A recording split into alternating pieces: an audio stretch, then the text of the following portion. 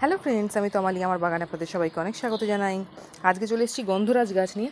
দেখুন কি সুন্দর ফুলটা ফুটেছে। আর গন্ধ তো অপূর্ব। কুঁড়িও এসছে অনেকগুলো।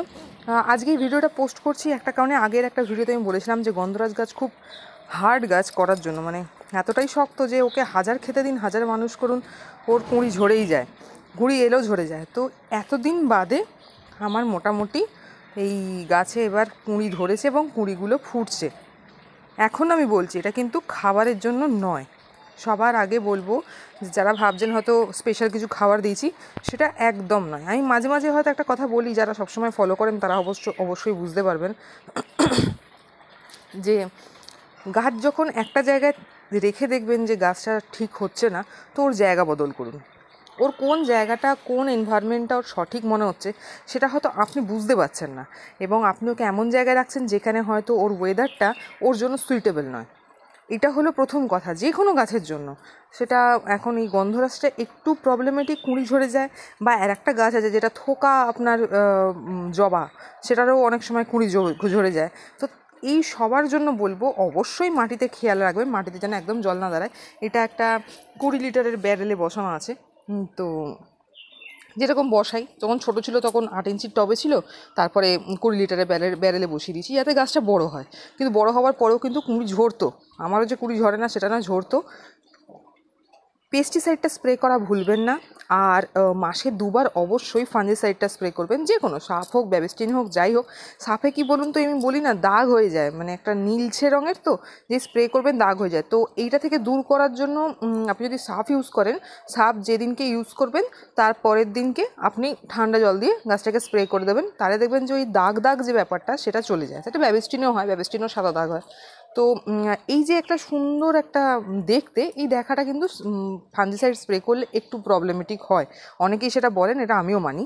তো, কিন্তু তাতেও করতে হবে, কারণ এর কুঁড়ি ঝরে যাওয়ার টেন্ডেন্সি অনেক বেশি, আর মাটি একদম হালকা একদম হালকা। আমি তো সিন্ডারে যেটুকু মাটি ছিল সেইটুকু ছিল, বাকিটা সিন্ডারে বসিয়ে দিচ্ছি যাদের কাছে সিন্ডার নেই, তারা যে মাটি বানান না কেন, তাতে বালির ভাগ বেশি রাখবেন।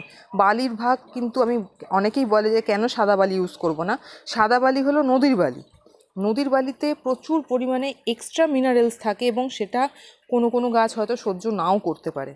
অতিরিক্ত মিনারেলস থাকে। নদীর বালির ভাগ অন্য রকম। আর এই লাল বালিটা কি হয়? লাল বালিটা যাতে জল ধরে না রাখে, তার জন্য ইউজ হয়। তো সবার প্রথম আপনি যে গাছই বসাবেন, খুঁড়ি দেওয়ার পর আগে লাল বালি দেবেন, তারপর আপনি যে মিক্স বানান, যেটাই বানান, হাতে করে দেখে নেবেন যেন মাটিটা মুঠো করলে মানে ডেলা না হয়, ঝুড়ো হয়ে যায়। সেই মাটিতে বসান, খুব ভালো হবে। আর আমি বলব, কোনো সার দিয়ে বসাবেন না, শুধু বালি আর মাটির মিক্সচার করে বসান। কারণ যদি সার দেন, তাহলে এখনকার ওয়েদার ঠিক নেই। আপনি যে সারই দেবেন, সেই সার পচে যাওয়ার চান্স একটা বেশি থাকে। তো এছাড়া আদার্স কিছু না পেস্টিসাইডটা সপ্তাহে একবার স্প্রে ফাঞ্জিসাইডটা সপ্তাহে একবার স্প্রে আর যেখানে আপনার গাছটা ঠিক হচ্ছে না, কুঁড়ি ঝরে যাচ্ছে বা কুঁড়ির সমস্যা হচ্ছে, গাছেরও সমস্যা হচ্ছে, আপনি একটু জায়গা বদল করুন। আগে দেখে নিন আপনার পটের অবস্থা ঠিক আছে কিনা, বা আপনার গাছের রুটে কোনো প্রবলেম হচ্ছে না। যদি সেটাও কোনো না থাকে, আমার যেমন সেটাও কোনো প্রবলেম ছিল না। সিন্ডারে বসানো আছে, রুটের কী প্রবলেম হবে? রুটের কোনো প্রবলেম ছিল না।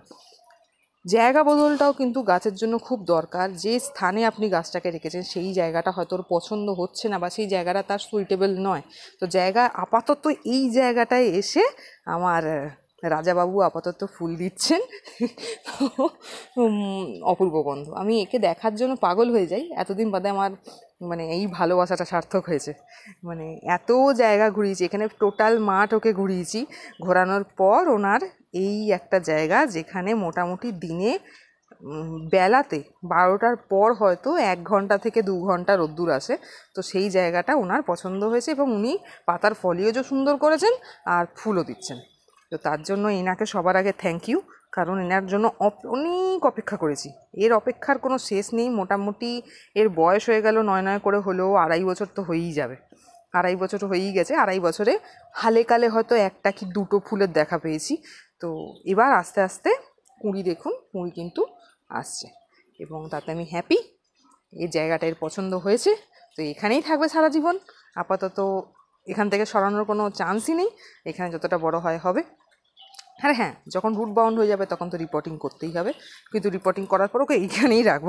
কারণ এত পুরো বাড়ি ঘোরার পরেও ওপরের বারান্দা, মাঠ, ওনার এই জায়গাটা পছন্দ হচ্ছে। তো আমি বলব, যাদের গাছের সমস্যা হচ্ছে, তারা গাছের জায়গা বদল করুন। দেখুন অন্য জায়গায় রেখেছি গাছটা নিতে পারছে কি না বেশি দিন রেখে দেবেন না যে কবে শুকিয়ে যাচ্ছে, তবে ওয়েট করছেন, সেটা নয়। কিন্তু মোটামুটি এক সপ্তাহ মতন রেখে দেখুন যে সেই জায়গাটায় গাছটা কীরকম আছে, নতুন কচি পাতা বেরোচ্ছে। যা হবে এক সপ্তাহের মধ্যে হয়ে যাবে। মানে আপনার যদি গাছকে গাছের যদি হালকা প্রবলেম থাকে, সে ওই এক সপ্তাহের মধ্যে আপনাকে দেখিয়ে দেবে যে হ্যাঁ এখানে জায়গাটা আমার পছন্দ হচ্ছে না। বা যদি মনে হয় যে, না, গাছটা সুন্দর ওখানে বাড়ছে, তাহলে সেই এক সপ্তাহের মধ্যে সে কচি কচি পাতা ছাড়তে শুরু করে দেবে। কারণ সেই জায়গাটা তার কাছে সুইটেবল হয়েছে। তো তার বেশি রাখবেন না। যখন দেখবে প্রবলেমেটিক সরিয়ে অন্য কোনো জায়গায় রাখবেন। তো এইটাও একটা কিন্তু অন্যরকম দিক যেটা হয়তো অনেকে হয়তো ভাবেন যেটা কোনো ব্যাপারই নয়, কিন্তু এটাও কিন্তু ব্যাপার একটা গাছ করার জন্য। তো আজই জাস্ট এইটুকুই। দেখে বলবেন কীরকম লাগল। যদি এক্সট্রা কিছু জানার থাকে তো অবশ্যই বলবেন। যেইটুকু আমি নিজে করে করে নিজে বুঝে বুঝে করছি, সেটুকু আপনাদের সাথে শেয়ার করার চেষ্টা করছি যাতে আমার যে প্রবলেমটা হয় অন্তত সেই প্রবলেমটা আপনাদের না হয়। আপনাদের যদি অন্য কোনো প্রবলেম থাকে তাহলে সেটা টেক্সট করুন। সেটার বিষয়েও যদি আমার গাছের কোনো কন্ডিশন থাকে তাহলে সেটা দিয়ে আমি ভিডিও করে দেবো। তো আজকে জাস্ট সেটুকুই আমি তো খুব হ্যাপি একটা ফুল দেখেই এত আনন্দ হচ্ছে, বাকিগুলো ফুটলে কী হবে? তো আজকে এটুকু খুব হার্ডি ফুল, পাপড়িগুলো খুব শক্ত হার্ডি ফুল, এবং সাইজটাও খুব সুন্দর হয়েছে। তো গাছ ভর্তি হলে খুব ভালো লাগে, এবং গন্ধ তো অপূর্ব। তো আগামীকাল আবার দেখাবো অন্য কোনো গাছের ভিডিও নিয়ে।